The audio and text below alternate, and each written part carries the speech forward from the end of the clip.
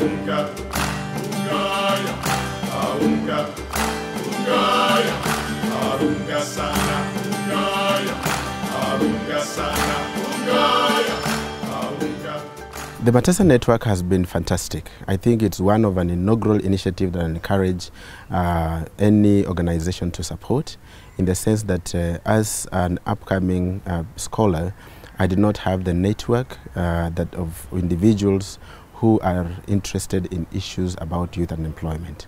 So this program has enabled us to get a comparative um, uh, view of uh, the problems of youth unemployment from the different uh, uh, fellows uh, within the program and also just getting together to form social connections among us ourselves and encourage it and work together on issues of youth unemployment has been a fantastic uh, endeavor.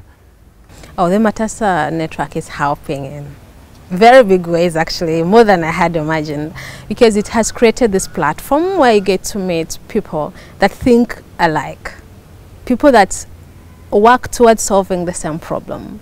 You know, when you're in isolation, you never know how big the problem is. But meeting people from different African countries, Africans themselves, African-based researchers, they help, you know, handle the challenge of youth unemployment from a regional perspective other than looking at it as a, an individual researcher. So the network provides the platform, it provides the skills that you need for policy you know, reform and transformation. It has helped with um, improving writing itself because you might have something to say about how to say it the right way and to communicate to the people that you want, especially policymakers, can be a bit challenging.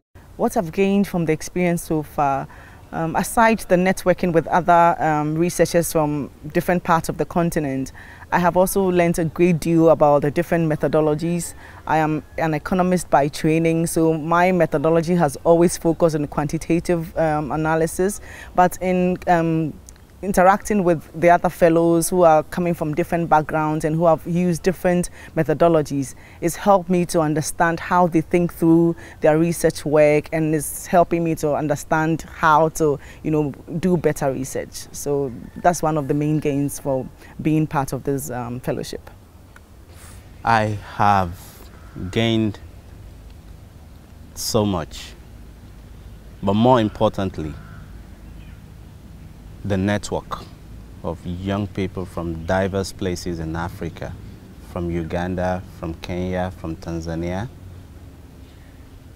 It uh, has exposed me to new methodology, to professionals in the realms of policy making, and um, I am sure and confident in the future that my research would influence policies.